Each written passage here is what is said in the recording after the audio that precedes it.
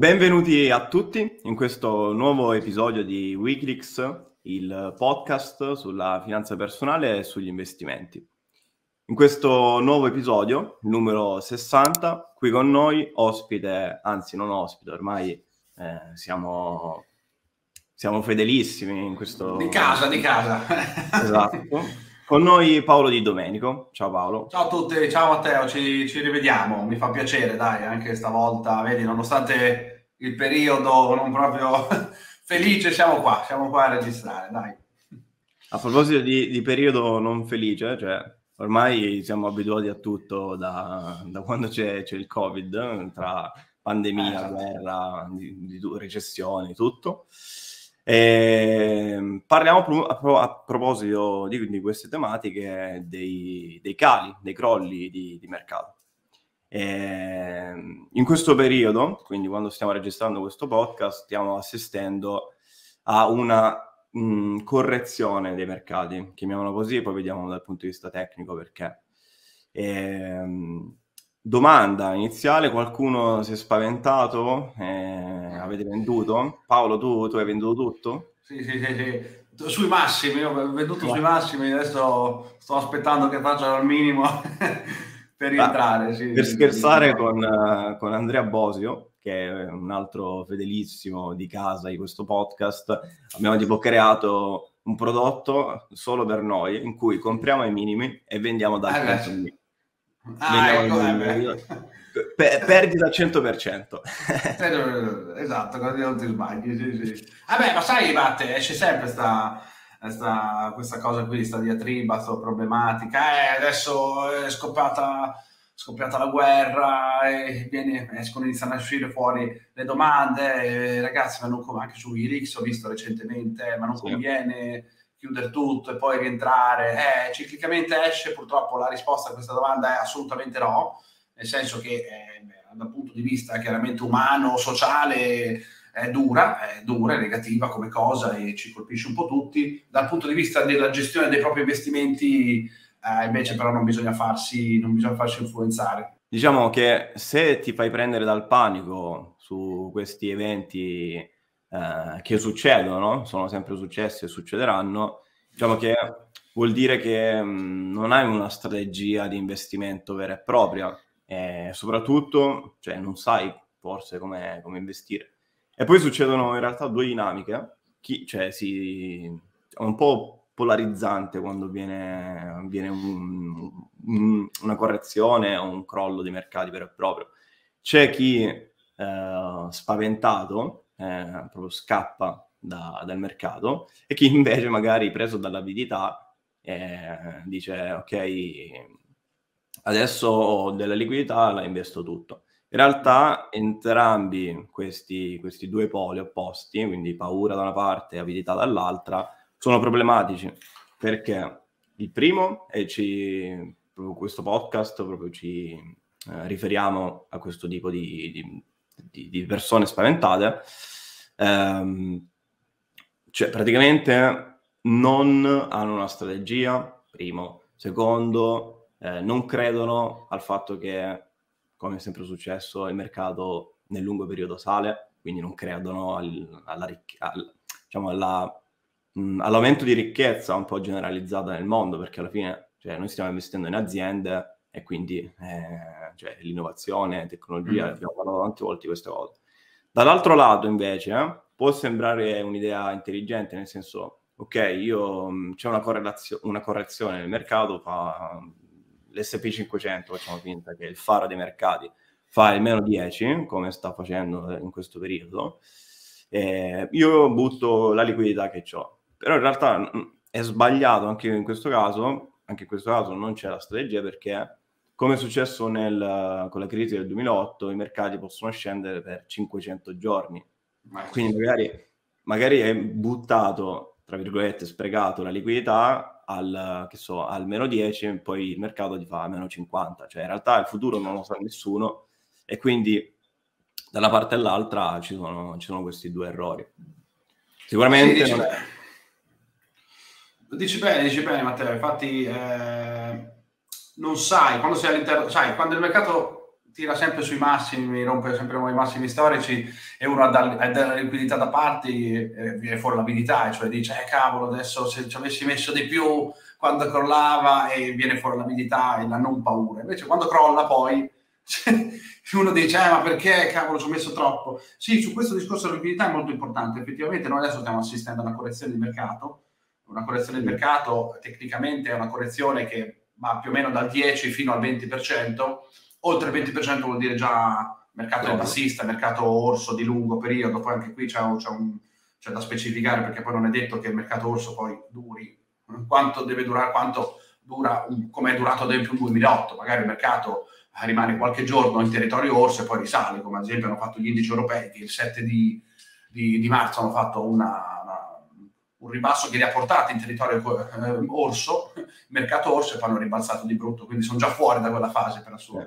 Quindi sì, sul discorso della liquidità è molto importante, non bisogna assolutamente, eh, tra virgolette, giocarsela tutta perché noi non sappiamo questa correzione, se è una correzione che si va a risolvere nel giro di due o tre mesi oppure eh, è qualcosa di più, di più grande. Quindi capisco che però chi ha un portafoglio investimenti ci faccia questa domanda, cioè in queste fasi qui io cosa devo fare col portafoglio? Devo movimentarlo di più, movimentarlo meno o semplicemente eh, non devo fare niente? Per assurdo, in una condizione di questo tipo, la strategia giusta, la strategia giusta è quella di non fare proprio niente, e cioè seguire il proprio piano di investimenti. Capisco che eh, ci potrebbe essere quel discorso eh, un po' più aggressivo, e cioè eh, ogni tot, tipo ogni meno 10, meno 20, uno potrebbe essere preso dall'abilità e dire guarda, in questo mese invece di comprare una quota di quell'ETF ne compro due, tre. Ci potrebbe stare, è un atteggiamento un po' aggressivo, però io comunque per quanto riguarda la gestione di un portafoglio, Uh, se uno è un investitore risparmiatore, eh, quindi non è che sta sul mercato la mattina e la sera, io consiglio di seguire il piano di trading e non fare nient'altro. E non fare nient'altro perché dopo se inizi a focalizzarti sui movimenti, questi qui, i movimenti di prego, e poi ti, ti, ti assorbono, ti assorbono mm-hmm. e poi fai, delle, fai degli errori, perché poi tra l'altro c'è anche il concetto che se tu guardi troppo gli investimenti, poi ti fai prendere dal, dal panico per assurdo, e quando ci sono queste fasi qui, l'account di trading, l'account di investimento non andrebbe visto, non andrebbe visto perché se tu guardi tutti i giorni, ti fissi su, quel, su quei numeri che salgono e scendono, ti crea emotività quella roba, ti crea emotività, eh, pensi di essere forte, di non chiudere, poi alla fine chiudi. Poi alla eh fine eh sì. chiudi, vendi, vendi sui minimi casualmente e poi risaldi tutto. Quindi sì, io consiglio di essere completamente distaccati dai propri soldi, che è difficile, è la parte più difficile in assoluto, perché uno poi legge notizie negative, guerra, roba, e no. ti viene da aprire l'account. Invece no, proseguire sul proprio piano e legarsi no, a oltre, come... Oltre a non aprire l'account, che è giustissimo, o comunque cioè, noi stiamo cioè, parlando di investimenti di lungo periodo, quindi a che serve vedere esatto, se, esatto. se, un tuo ETF, un tuo titolo fa il meno 5%, cioè eh, certo. mh, non ha cioè, lo, lo, guardi, magari ti viene il magone, ti viene un nodo alla gola per dire eh, sto perdendo dei soldi, eh? ma poi cioè, eh. tu già iniziando, cioè quando hai iniziato a investire, sai che eh, il tuo obiettivo è 5 anni, 7 anni, 10 anni, 30 anni, cioè non ha senso guardarlo dopo boh, 7 mesi. Assolutamente. E la seconda, la seconda cosa legata a questo, come hai detto te, è spegnere la TV, cioè noi lo diciamo boh, ogni, ogni, due podcast, diciamo. È un mantra, è un mantra. mantra ma, ma, perché è vero, cioè nel senso, cioè se ci pensi, eh, anche tipo nell'editoriale del mensile che è uscito questo mese, eh, ho messo un grafico che aggiorno molto frequentemente, nel senso che è il grafico dell'SP500 dal 2008 fino okay. cioè, aggiornato giornal- cioè, quasi costantemente e mostra eh, tutti gli avvenimenti peggiori eh, che sono successi mh, mm, cioè per l'umanità. Quindi le guerre, la pandemia, eh, le tensioni, crisi, crisi, recessioni, di tutto e di più. Insomma, cioè, eh, cioè uno se leggesse questo grafico dice, cioè senza la linea okay, de- del prezzo, dice, cioè se un marziano guarda questo grafico, vabbè, cioè, eh, in che mondo vivono, insomma. Sì, sì. Ma tutto male, eh, tutto... Sì, sì, sì, sì, sì. Invece, se ci metti la linea del prezzo, vedi che praticamente, non ti dico che è una linea, una bisettrice che sale sempre, però cioè scende poi risale, scende poi risale, ma quando sale, sale più di quanto scende. Infatti, eh, ed è uno poi degli argomenti di questo podcast, eh, una notizia un po' che forse qualcuno non conosce, che ogni anno, da quando si ha memoria e quando esiste la borsa, c'è una, almeno una correzione dei mercati. Anzi, non è strano, eh? non è strano. Non, è, non, non, esatto, non deve, non deve, suonare strano il fatto che un anno c'è un calo del boh, meno, meno 10%. La media è che eh, il mercato scende intraannualmente, quindi durante l'anno, del meno 13%. Certo. Quindi, ed è come diceva Paolo, eh, stiamo assistendo a, non a un crollo, ma a un semplice ribasso, a una correzione. Quindi dal 10 al 20%, poi dipende dai casi, si parla di, di correzioni che, ripeto, sono normalissime. Sì, su questo discorso mi, hai aperto due, due pensieri. Il primo è eh, su, su, per quale motivo gli investitori oggi dovrebbero essere ansiosi? Come detto prima, uno se dovesse leggere tutti i titoli eh, dei giornali, eh, cosa vedrebbe oggi? Vedrebbe che è una, una situazione abbastanza raccapricciante, cioè tiriamo fuori in che contesto stiamo di mercato, uno sul mercato vediamo ma quali sono le notizie che stiamo muovendo in mercato, ne citiamo qualcuna?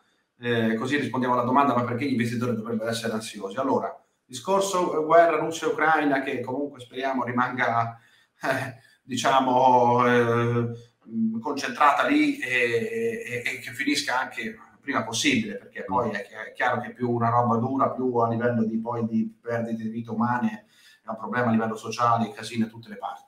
L'inflazione è la, è la più alta degli ultimi quattro decenni, potremmo dire, ce l'abbiamo in America 7,9%, ma anche in Europa 5.9 non scherziamo. La Fed per la prima volta dal 2018 sta restringendo la politica monetaria, eh, lunedì noi stiamo registrando oggi venerdì 18 marzo, eh, beh, mercoledì la Fed per la prima volta ha aumentato il tasso di, interesse, quindi chiaramente questa qui può essere una preoccupazione. Se, eh, dopo anni e anni di, tra virgolette, droga monetaria eh, si, si restringe eh, un po' la liquidità e questo chiaramente è un elemento di disturbo. Eh, stiamo assistendo in questi mesi, a, abbiamo assistito al crollo, al mega crollo dei titoli tecnologici ad alta crescita, uh, eh, che nel 2020 e per una piccola parte del 2021 erano saliti come se non ci fosse un domani eh, e abbiamo assistito a un crollo epocale per quei tipi di titoli, è stato un vero e proprio 2008, cioè ci sono dei titoli che si, ah, si sono praticamente azzerati, meno 70, meno 80, quindi chi era molto sbilanciato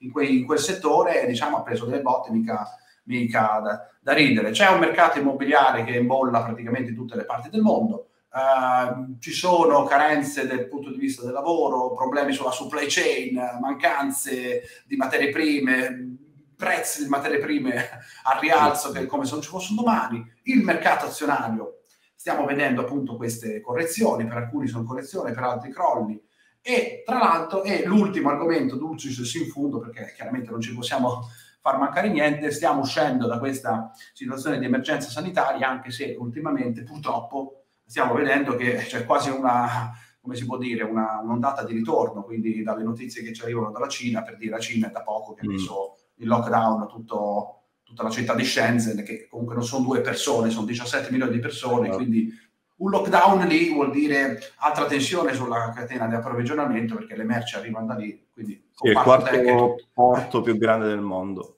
Ecco, e quindi chiaramente quella roba lì potrebbe, potrebbe andare a peggiorare ulteriormente. Quindi vedete eh, qui quanti eh, ci sono tantissimi motivi per essere ansiosi, assolutamente, però come dicevo prima, per assurdo la borsa, gli investimenti, la gestione dei propri investimenti è uno di quegli aspetti della vita dove fare meno potrebbe essere, o non fare niente, potrebbe essere la soluzione eh, migliore. Che se ci pensi, Matteo, è una roba assurda, perché tutti gli altri aspetti della vita, invece, eh, non è proprio così.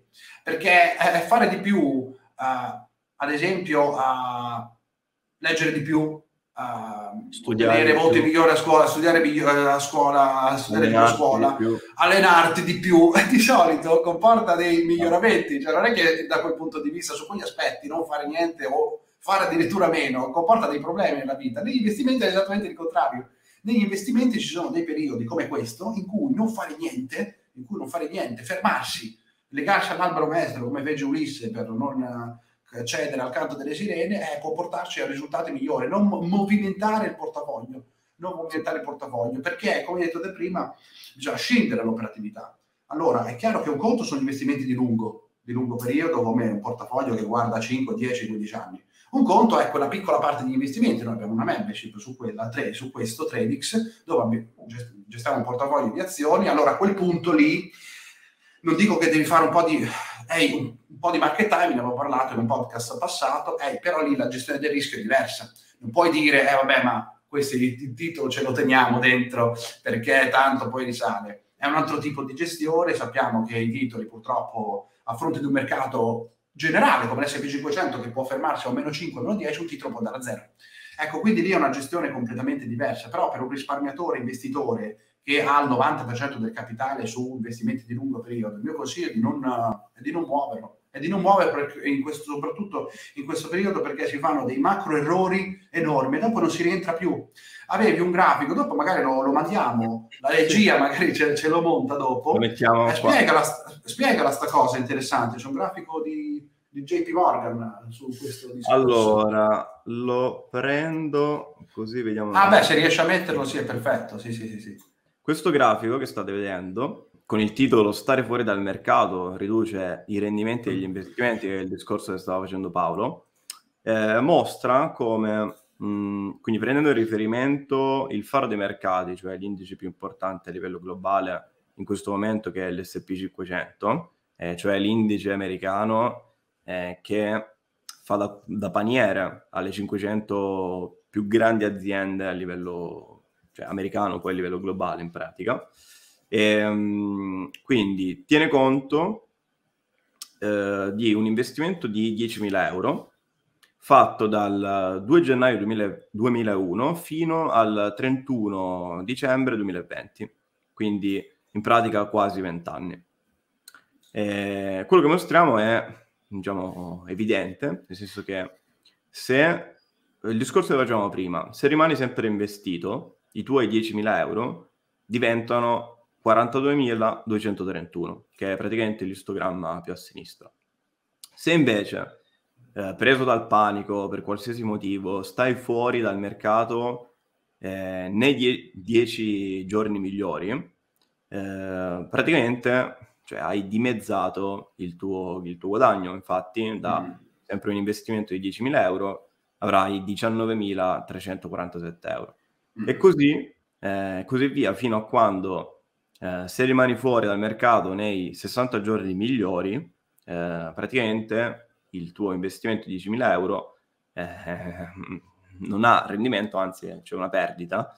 Eh, ah, 2.441 euro, tra l'altro, eh, cioè tenendo conto magari eh, dell'inflazione, eccetera, eccetera, è anche meno. Quindi, ehm, no, poi c'è un altro, eh, c'è un'altra statistica interessante ehm, che, mh, mm, che, è questa. Praticamente i giorni migliori eh, del mercato eh, sono quelli che ehm, avvengono praticamente quando c'è un grosso ribasso. Quindi l'abbiamo visto eh, questa cosa, cioè, l'esempio forse che mi viene più lampante è quello del, um, del, del, del marzo del 2020, okay, quando è scoppiata la, la, pandemia, il mercato faceva meno 12, poi il giorno dopo faceva più 7, poi faceva meno 5 e poi più 4. Eh, se ti perdi quei giorni, soprattutto magari quel mese dopo il, il picco negativo che c'è stato, cioè il, il, tuo rendimento praticamente è risicato, se non come abbiamo visto in questo caso. Cioè, facciamo finta che... Allora, guardiamo questa statistica, cioè se rimani fuori dal mercato nei 30 giorni migliori, praticamente hai sempre una perdita, quindi da 10.000 a 7.400, perché vuol dire che ti prendi i, tutti i ribassi in pratica. L'ha fatto la scorsa settimana, mi ricordo, sì, dopo gli indici um, europei, la scorsa settimana. Eh, ti ricordi il Nasdaq, l'SP, sì, sì, sì, sì. Ma soprattutto l'Europa, perché le, le, l'America è rimasta abbastanza resiliente in questo periodo, evidentemente si è avvantaggiata del, del casino che è successo in Europa. La scorsa settimana eh, l'Europa ha fatto un minimo eh, veramente eh, enorme. Il 9 marzo il 9 marzo cioè, sui listini europei, sul DAX, ma anche sul FTSE italiano, sul DAX tu pensi c'è stato un rialzo dell'8%, che non è un caso che sia arrivato dopo un ribasso che l'ha portato a oltre il 20%, tra l'altro è sceso in modo verticale. Quindi questo discorso è assolutamente vero. Quindi se uno fa il grandissimo errore di fare market timing e di dire ah ma io rimango adesso quando come tu come fai a beccare il, il, giorno del minimo, se ti perdi quel più 8 di rimbalzo di quel giorno, poi nel lungo non bisogna guardare a una settimana, due settimane, ma guarda a 5, 10, 15 anni, la perdita in conto capitale che ti trovi è una roba pazzesca. Sì, quella, quella statistica è veramente una roba, una roba ghiacciata, è veramente una roba assurda. Yeah. Quindi sì, oh, è il discorso de- dell'activity bias in pratica, cioè uno dei, dei, più grandi errori comportamentali che abbiamo detto nell'introduzione di questo podcast, cioè cercare di, detto, di fare market timing. Tra l'altro abbiamo fatto un podcast, io e Paolo, su, su, sì, questo, sì, sì. su questo, tema, quindi magari andatelo a riprendere. E, e, di nuovo, cioè praticamente chi scappa da, dal mercato a una notizia negativa e chi invece proprio fa, fa, cerca di fare eh, acquisti, vendite, quando c'è, quando c'è tensione.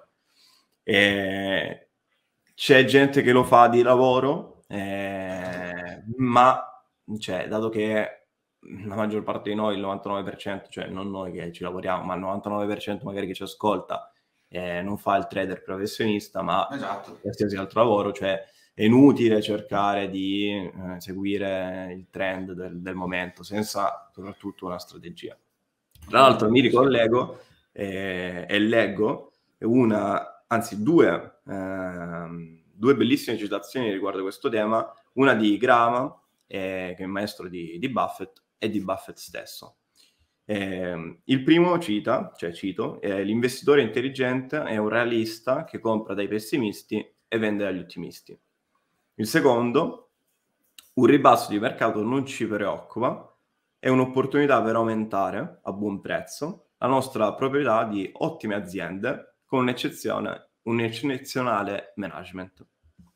E, ehm, ah cioè, quello, queste due grandi citazioni ci fanno capire come un ribasso di mercato praticamente non è, non è un altro, cioè non è altro che un, um, un'occasione per acquistare praticamente a sconto, a saldo Infatti è proprio questo il, il, discorso che volevo fare. Non so se qualcuno ha mai pensato che eh, i ribassi magari mh, devono, eh, cioè li, puoi, li, puoi, li potete pensare come se fossero veramente dei saldi.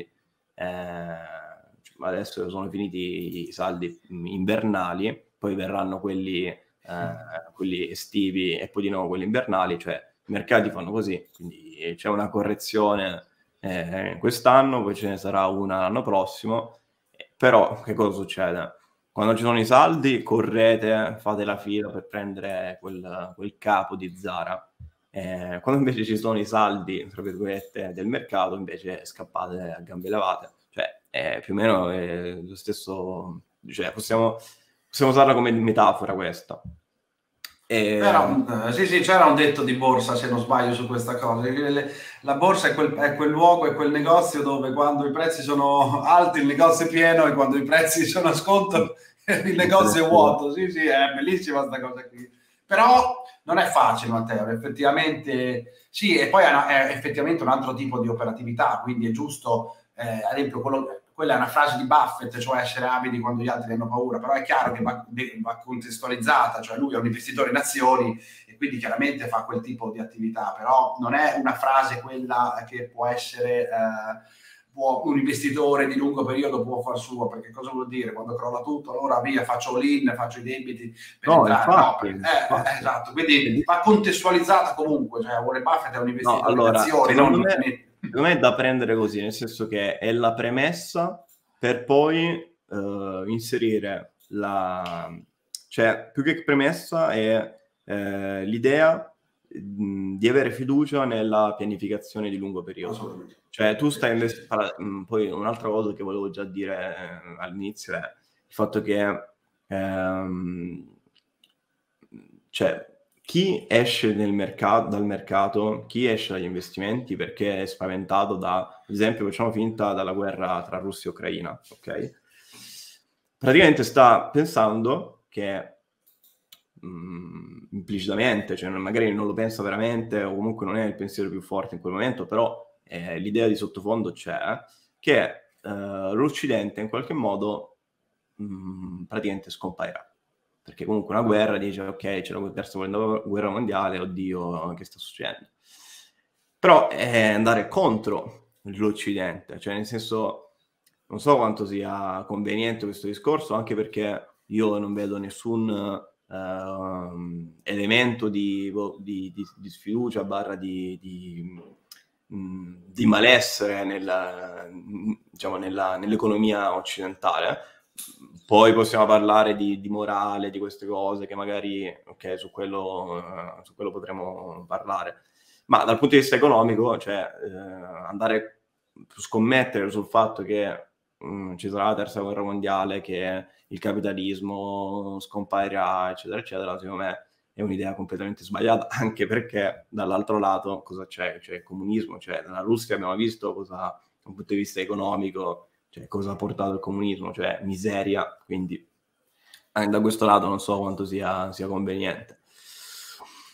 No, se uno, allora, se uno pensa a questo, cioè gli scenari tragici, quello che dovrebbe fare è che preoccuparsi proprio degli investimenti zero e costruirci, comprarsi un bel bunker. bunker. Vedi che c'è la notizia che la gente sì, si sta sì. comprando, i milionari si stanno comprando il bunker come se eh, fosse la soluzione, sì, perché poi in un mondo post-nucleare sarebbe bellissimo vivere, chiaramente. Quindi, vedi, sono finti problemi, nel senso che è vero, ci sono i rischi, eh, ma sono rischi che vanno fino a un certo punto. È come preoccuparsi della caduta dell'asteroide, cioè nel senso che se succedesse anche uno scenario di questo tipo, eh, mi posso assicurare che gli investimenti sarebbero la meno, la meno dei problemi. Sì, assolutamente questo discorso. Poi non bisogna neanche essere ciecamente ottimisti dicendo che va tutto bene, le problematiche ci sono, questo è chiaro, eh, però eh, chiaramente quello che contraddistingue un investitore, soprattutto di lungo, è questa, è essere razionalmente ottimisti, cioè aspettarsi che le cose non migliorino, che le cose migliorino, perché altrimenti poi si vive anche male, eh, da questo punto di vista si vive anche male, cioè aspett- chi è che vive serenamente aspettandosi sempre il peggio? C'è un vecchio detto che dice uh, nel, nel, breve mi aspetto il peggio, però nel lungo mi preparo al meglio, cioè una roba del genere, capito? E che magari le cose no, possono infatti... migliorare prima di migliorare. Bravo, no, no, no, è, è secondo me, eh, collegandomi al discorso di prima, è il pensiero che devi avere sui ribassi. Cioè, allora, io sto, sono un investitore che sta per iniziare. Mm, ho capito che devo investire nel lungo periodo, ho pianificazione, ho comprato Planix e eh, va benissimo. Però se sentendo questo podcast so che ogni anno devo stare male perché c'è un ribasso, eh, capisco che il futuro ci cioè, aspetteranno sfide, eccetera, eccetera. Cioè, alla fine io allora perché devo investire? Mm. E il discorso è mh, mm, semplicemente perché l'investimento nel mercato azionario nel tempo ha ampiamente dimostrato il fatto di essere eh, un generatore di ricchezza. Eh, cioè tu stai, dato che stiamo investendo appunto eh, maggiormente magari sul, sul mercato azionario, poi dipende dai, dai, portafogli, eccetera, eccetera, però sono, sono le imprese generatrici di ricchezza, l'abbiamo detto anche all'inizio, quindi cioè, il pensiero da fare è quello, cioè io sto investendo sul fatto che l'economia cresce.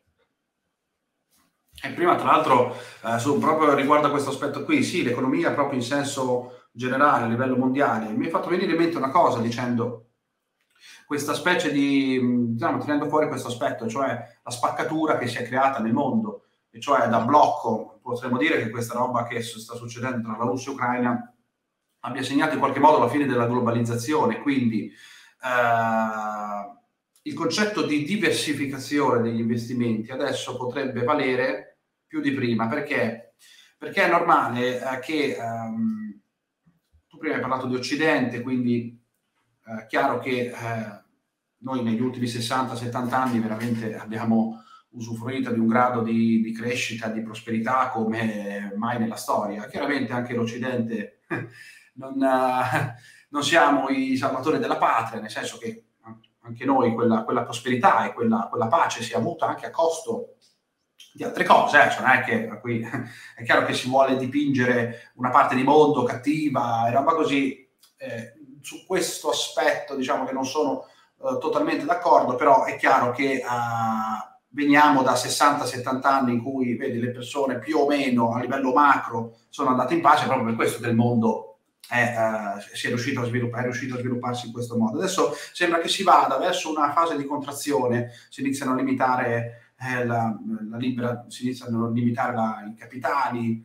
eh, le persone, i, i, viaggi diventano difficili, anche la libera circolazione di merci anche diventa complessa, quindi è questa fase. In questa fase qui il concetto della diversificazione secondo me è molto importante perché noi chiaramente che viviamo nel mondo occidentale pensiamo che il mondo occidentale sarà leader anche tra 10, 15, 20 anni. Questa qui è una visione molto sbagliata. Consiglierei di adottare invece la visione dei, asiatica cioè degli asiatici, e pensare cioè che eh, il mondo è ciclico e quindi quello che è stato non è detto che sarà in futuro. Questo per dire cosa? Per dire che mh, anche ridurre tutto, sai, molte, molto spesso senti gente che dice, eh, vabbè, ma tanto basta che metto tutto sul, sull'SP500 e vado avanti a vita, hai capito? Il mio capitale sicuramente crescerà per i prossimi 15, 20, 30 anni. Attenzione a questa cosa qui, attenzione, perché nella storia noi abbiamo visto che ci sono eh, stati casi in cui il pack di lungo periodo non è che ha funzionato sempre. Tu pensa a te uno che si è iniziato a fare un pack di lungo periodo, ha iniziato a fare all-in sul Nikkei 225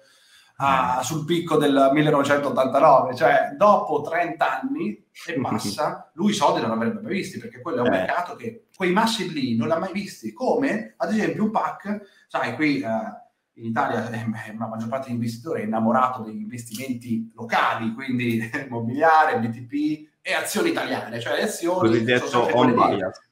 On bias, in pieno on bias investe solo questo qui, ma vorrei ricordare che chi ha fatto il pack sul Fuzzi Mib nel 2008 2000 eh, o, appunto, appunto, se tu li stavi nel 2000 avevi un picco nel 2008 ma qui, quei livelli, quel famoso 44.000 punti non l'abbiamo più raggiunto.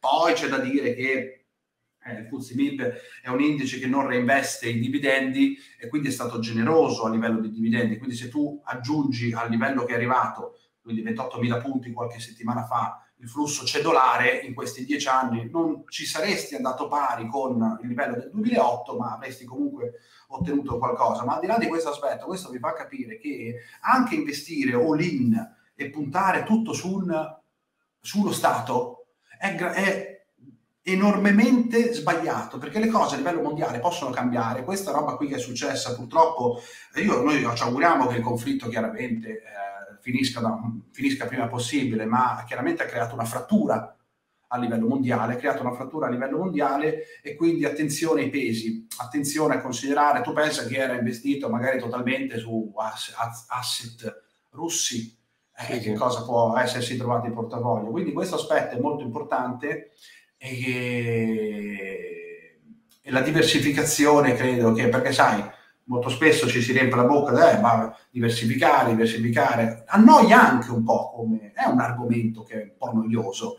Eh, vabbè, questa diversificazione, ho capito, eh, però questi, questi, eventi qui che stiamo vedendo oggi, eh, cavolo, cavolo, ci fanno capire come una diversificazione ti, ti può salvare, ti può salvare in queste fasi, perché purtroppo queste cose, questi rischi di coda, possono esserci quelle specie di cigni neri, ci possono essere e purtroppo, e credo che non sarà il primo, non è il primo e credo che non, non sarà neanche l'ultimo, quindi ogni investitore deve avere, purtroppo deve, avere, deve farci, eh, deve, deve avere a che fare.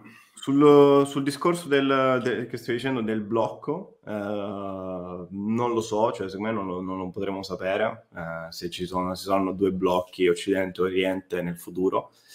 Eh, però secondo me è un bel discorso, cioè da, da, da, da non da approfondire, proprio da, vedere, da, viverlo.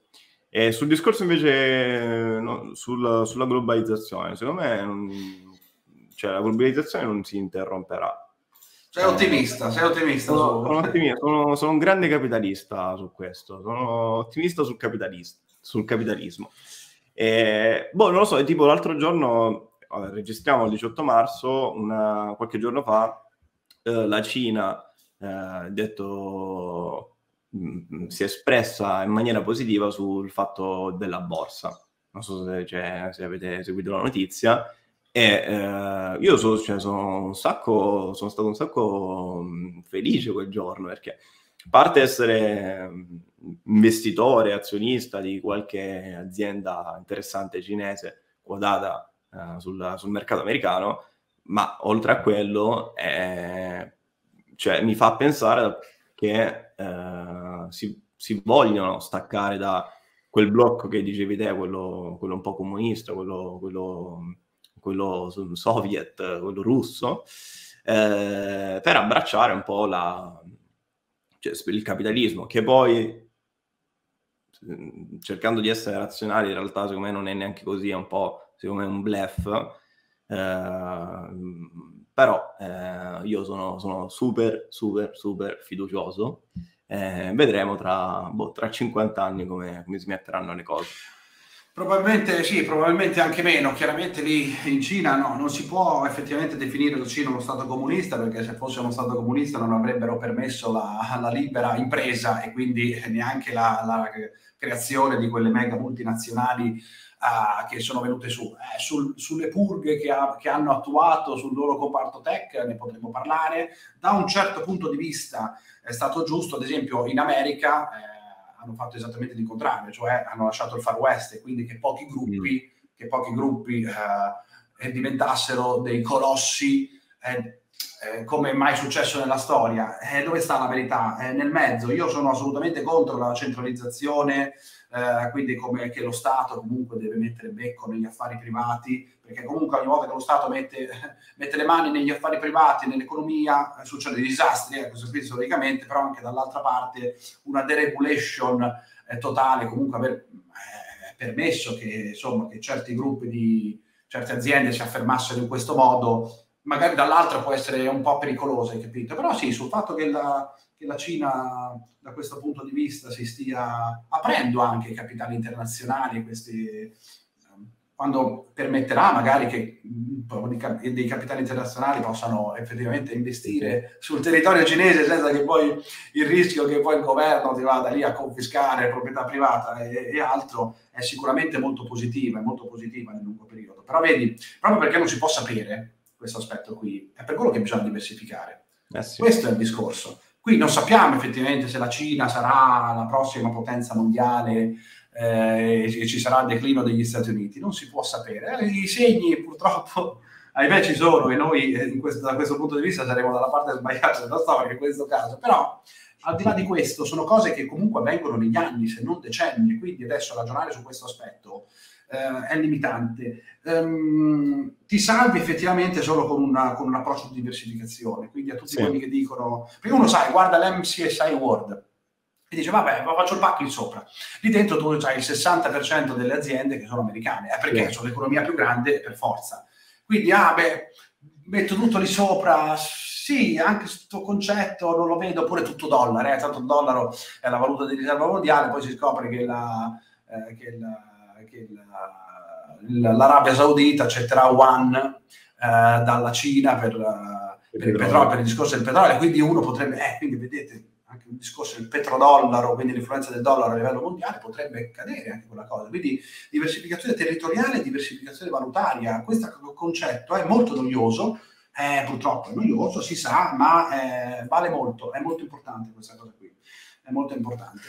Io, eh, Matteo, eh, farei una, per ripielogare, perché poi sai, qui no. poi si va, si, va, si va a braccio e sono tutti argomenti poi che andrebbero esplosi in un modo assurdo e ne sarebbe da parlare a tonnellate. Però eh, ricapitolando questa cosa qui, quindi gli errori che gli investitori, diciamo, potrebbero commettere durante una, una correzione, io sono son 5-6 punti alla fine, li, li vorrei ricapitolare e poi magari andiamo andiamo a chiudere. Eh, diciamo quindi, come il discorso che facevi prima, cioè eh, non riuscire a rispettare, face, um, essere presi al panico, quindi non riuscire a uh, rispettare il proprio piano di investimenti, uh, vendendo, fa, cercando di fare market time, vendo sui massimi, compro sui minimi.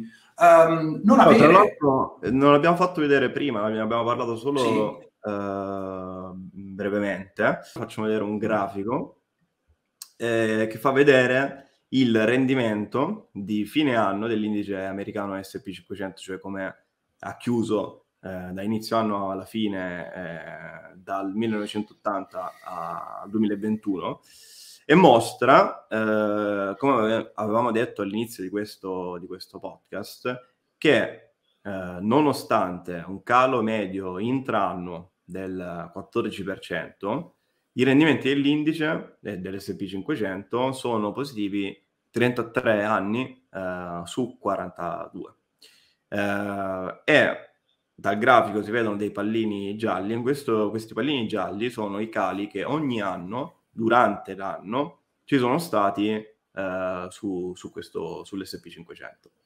Eh, quindi questo, cioè, eh, legandomi al tuo, al tuo discorso, cioè, adesso avete anche il grafico che mostra che eh, non è solo la teori- teoria la nostra, ma è vero eh, che ogni anno c'è una, almeno una eh, correzione. Correzione, ripetiamo, è quando un, un mercato scende dal, del 10%, quindi almeno del 10%, mentre poi parliamo di mercato orso, eh, quindi eh, di, di, di, vero crollo, quando mh, mm, c'è appunto una, una, discesa di almeno il 20%. Come vedete, eh, sono pochi, pochissimi gli anni in cui un calo intraannuo è, del, è superiore al 20%. Eh, cioè statisticamente credo sia ogni 5-7 anni. Poi ogni 5-7 anni, esatto, un calo, un calo, del 20 e più. Eh, esatto. Sì, assolutamente. Questa statistica poi del, del, calo, cioè, è solo puramente appunto statistica perché non, non vuol dire che in futuro, ah, nel eh, 2020 esatto. c'è, stato, c'è stato un crollo del 34%, vuol dire che ok, adesso faccio il calcolo 5 oppure 7 anni da quel momento e ci sarà un altro crollo, adesso investo in questa maniera. Chiaramente non è così, è una media, quindi non, cioè, prendete, prendetela come, come, come statistica, come, come, cioè, la storia alla fine ti, ti rappresenta il contesto, non il, cioè, il, quello che verrà in futuro. Mm. E, però adesso almeno vede eh, anche il grafico, quindi anche la pratica e non soltanto la teoria.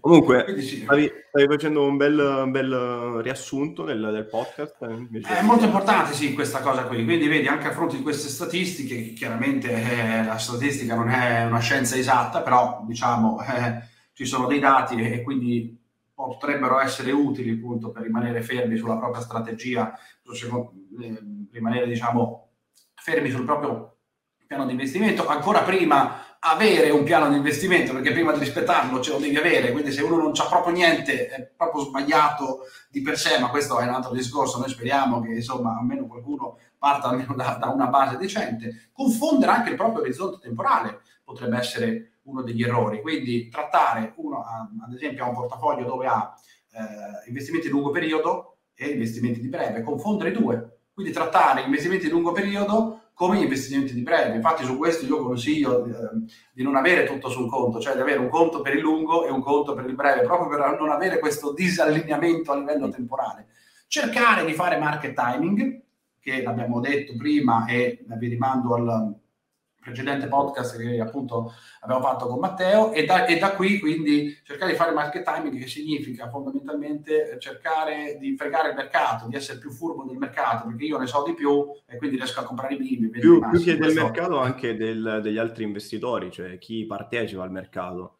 Cioè tu stai eh. dicendo io sono più bravo di tutti uh, perché riesco a comprare i suoi minimi. Buffett. Massimi sì, sono esatto. più bravi di Buffett. Eh, non, non, non, purtroppo, Insomma. allora può succedere, può succedere, ma per pura fortuna che uno riesce a comprarsi il minimo esatto. di un movimento, ma è, è, un gioco a perdere, non c'è niente da fare. Poi uno non è che uno eh, lo deve provare questa cosa qui. Provate, poi vedete che nel lungo non porta, provate magari con le azioni e vedrete che è molto più difficile di quello che uno, che uno pensa. L'altro errore, appunto, eh, è prestare appunto attenzione a quello che sta succedendo. Quindi andare a vedere i propri investimenti, aprire la piattaforma di trade, di trade degli investimenti dove uno ha i propri ETF e controllare in modo compulsivo. Tra l'altro te ne accorgi perché se, lo, se durante la correzione, eh, quando scoppia un casino, tu lo fai più di quanto lo facevi prima, cioè magari prima lo controllavi una volta al mese, adesso lo controlli tre volte a settimana. Quello è sintomo che stai iniziando a cedere. Magari uh, non cedi subito, sei forte, però vi posso assicurare che fa male fa malissimo mm. vedere i propri investimenti fluttuali. Questo sì, discorso sì, chiaramente vale per gli investimenti di lungo periodo, per quelli di breve, per il trading e queste cose qui. È chiaro che invece vanno visti anche con una certa regolarità, non è che si può lasciare la roba fluttuare, però sono sono due tipi di operatività, avete capito? Quindi questi, diciamo, sono i 6-7 errori che gli investitori commettono durante una correzione e che sinceramente andrebbero evitati. Per concludere il podcast, Matteo, io andrei a vedere a questo punto come proteggere gli investimenti, perché ci sono gli errori e poi però alla domanda, ok, va bene tutto questo, però come possiamo proteggere i nostri investimenti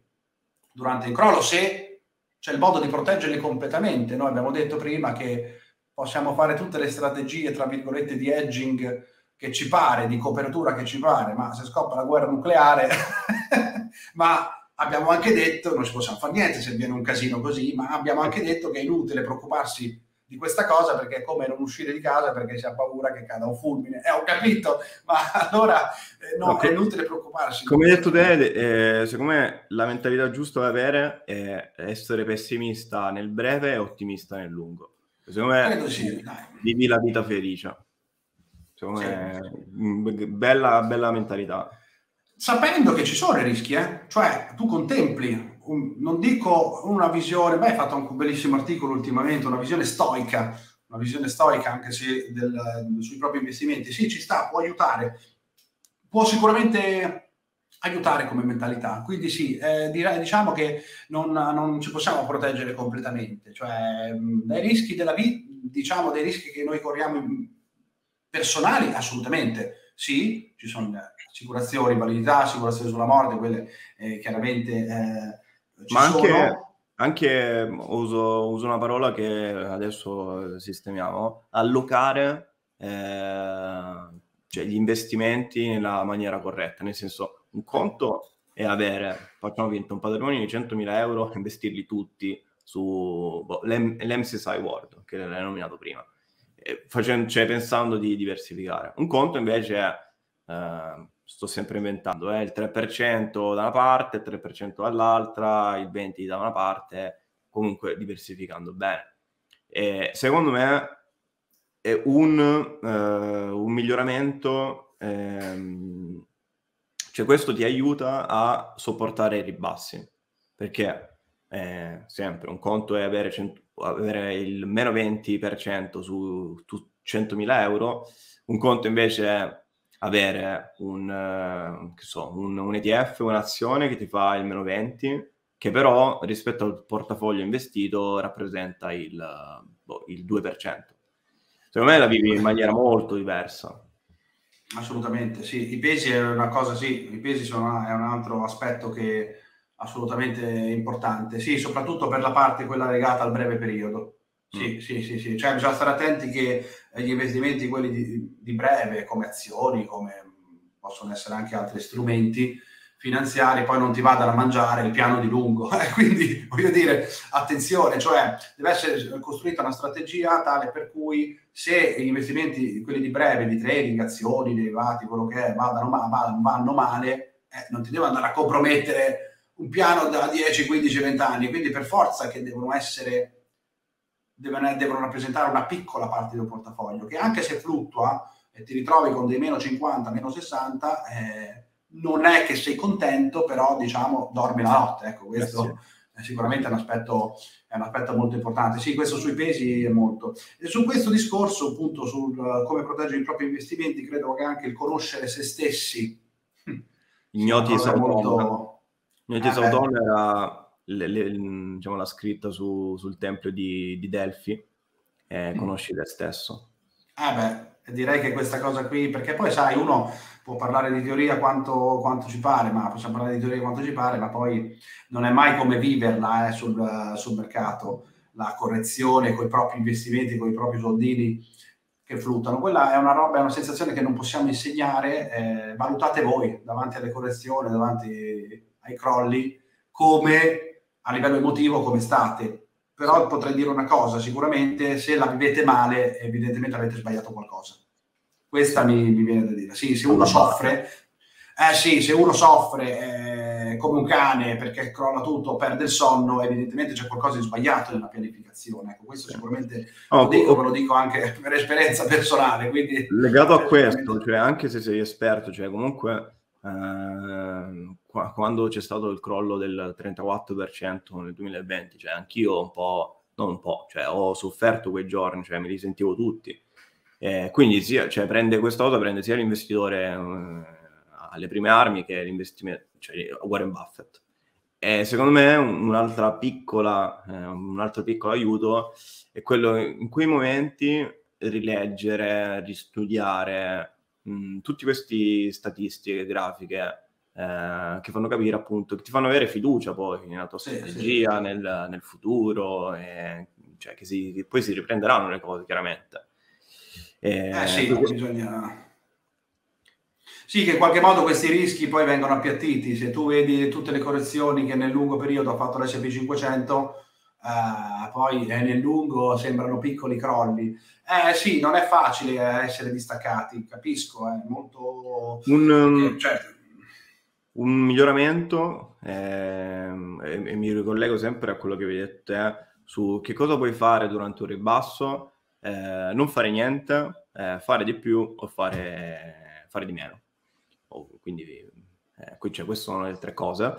Eh, come diceva Taleb, eh, less is more in questo caso, quindi eh, fare meno è meglio, cioè la cosiddetta via negativa, ehm, cioè se, se, avete paura, eh, cioè se hai investito i soldi in quel momento hai paura, eh, è meglio che non fai nulla, eh, cioè non, non, fai activity bias, cioè comprare e vendere, market timing, eccetera, sì, eccetera. Sì, sì. Non fare nulla e eh, pensa ad altro, eh, non aprire il conto trading oddio, dove hai gli investimenti mm.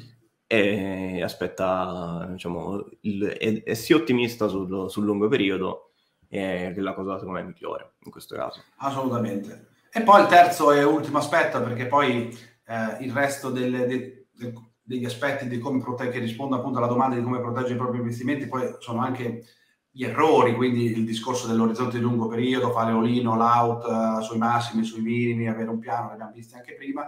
Il terzo aspetto, che è la cosa che abbiamo preso all'inizio del podcast, è l'aspetto della liquidità. Sì. Quindi, ok, l'abilità sì, ci può stare, ma eh, io la userei, è più un concetto per la, per la parte più speculativa del portafoglio, per il trading sul discorso del lungo periodo, invece, una buona percentuale della liquidità io me la metterei da parte la, e me la lascerei da parte, cioè non siate avidi alla prima correzione del meno 10, perché? Perché purtroppo non si può sapere se questo meno 10 poi si trasforma in 2008 quindi è vero che in questi ultimi due anni eh, il mercato è abituato che è salito sempre, ha fatto dei rialzi pazzeschi e quindi chi è rimasto fuori ha una specie di, di rammarico, ti viene quella roba lì, dici cavolo mi sono perso due anni di, di rialzi, adesso che tu lo vedi scendere, all in, via, meno 10 non vedevo l'ora di rientrare. Eh, ho capito, ma se il mercato dopo, dopo due anni sta iniziando a scendere, uno qualche domanda se la dovrebbe fare, poi magari non succede niente di che, però attenzione a uh, sprecare tutta la liquidità al primo segno del ribasso.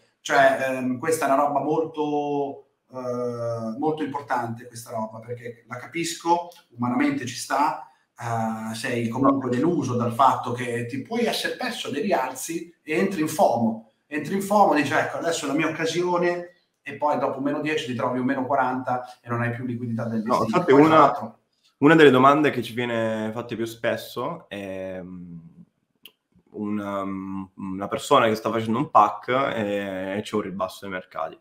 Cosa fare? Lo metto un altro cipino? Cioè, teoricamente in realtà non dovresti farlo perché appunto tu non sai quanto dura questo ribasso. Ah, Quindi certo. la domanda, domanda, poi la facciamo noi a te, nel senso, è, cioè, è meglio farla adesso che c'è un meno, meno 5 oppure non, cioè, nessuno lo sa, non, non lo sappiamo noi, non lo sai te, eh, tra un mese questo meno 5 è diventato un meno 30 e invece sarà quello il caso in cui dover fare questa, questa integrazione in più. Cioè, certo. dato che non lo sai, allora meglio seguire la strategia. E questo Assolutamente. per rispondere a una domanda che, che magari qualcuno, qualcuno ha che, eh, che, ci potrebbe fare. E quindi Assolutamente, anche perché non è detto che la correzione sia come la correzione, anzi già non lo è di fatto. La correzione che, ehm, a cui abbiamo assistito nel 2020 è nettamente diversa da quella di oggi. Questa è una correzione più corposa, più distribuita, che è durata mm. di più. Lì fu un evento a ciel sereno, non se lo aspettava nessuno. Poi il mercato ha fatto quello che ha fatto perché c'è stato un interventismo epocale, l'intervento delle banche centrali dei governi è stato epocale, chiaramente tutto a debito e quel debito poi è un calcio al barattolo e, vedremo, e vediamo chi lo paga, quindi non è stato a costo zero. Eh. Del resto c'era una grande depressione, si rischiava una grande depressione, quindi vedi si è scelto il meno dei mali. Oggi la collezione a cui stiamo assistendo ha più dinamiche effettivamente dal 2008, adesso io non è che la voglio tirare con questa, però è diversa Attenzione, è diversa perché questa qui è una correzione che è frutto di un'incertezza futura, di un'incertezza futura, ripeto, due anni fa fu risolta immettendo sul mercato una quantità di trilioni da parte delle banche centrali come mai è successo nella storia, quest'anno eh, si va al senso opposto, cioè le incertezze, i rischi ci sono e le banche centrali stanno iniziando a tirare la rete dalla liquidità. Quindi vedete che il contesto è totalmente, totalmente diverso. Io, eh, Matteo, volevo concludere questo podcast con una uh, frase di Morgan Housel, Vai. che tra l'altro ha fatto un libro che secondo me è uno dei libri più belli della, della storia della, sì. dell'economia, proprio dei concetti, sì, un po' come ha dei concetti molto raffinati. Ehm, è diverso da Taleb. Taleb eh, anche lui è molto raffinato nel pensiero, però per alcuni potrebbe essere complicata come lettura. Invece Housel, mamma mm. mia, un libro eccezionale, la psicologia, sto parlando della psicologia dei soldi, lui parla della volatilità, vedi prima dicevi del rischio della fluttuazione, potremmo definire la volatilità come il prezzo, la multa insomma, come il prezzo da pagare, il prezzo del biglietto da pagare per rimanere investiti. Questo è un concetto molto molto molto che secondo me ci sta, ci sta, eh sì, il prezzo del biglietto, assolutamente, sì, sì, sì, sì, sì. E...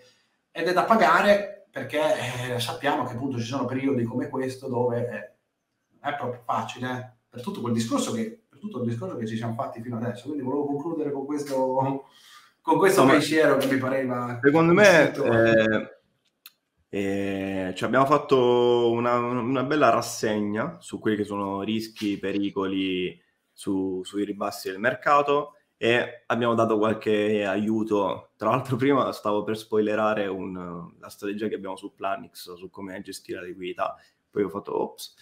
E, ehm, no, abbiamo dato sicuramente qualche, qualche, qualche aiuto anche, anche importante eh, su, su, come gestire il, i ribassi. Eh, secondo me possiamo chiudere questo podcast con una domanda. Ok, a fronte di questo, di, degli argomenti di questo podcast, quindi sapendo che ci sarà un ribasso ogni anno e quindi in futuro ci saranno sempre ribassi e, e anche crolli quindi. Ah sì, ah sì. La domanda è, eh, il prossimo crollo del mercato non è questione di se, se ci sarà, ma è questione di quando ci sarà. Quindi eh, sarete pronti ad affrontarlo? avete, avete una, già una strategia. Eh, questo podcast vi ha dato una mano, vi ha dato qualche suggerimento, idea in più. Eh, se volete, fatecelo sapere. Anche su, su Wikileaks, che tanto è il nostro gruppo Facebook, lì magari poi la comunicazione più immediata. Poi, tra l'altro, di questo argomento crolli e correzioni ne stiamo parlando comunque tutti i giorni, quindi veniteci a seguire anche sul gruppo. Sì. E anche per bene, questo bene. podcast uh, ci siamo, direi. Grazie Paolo di questa chiacchierata. Grazie a te, grazie a te. Grazie a tutti, sia chi ci ha ascoltato e chi ci sta guardando da, su YouTube. Eh, buona giornata, buona serata, eh, grazie a tutti. Ciao ciao. Ciao a tutti, ciao a tutti.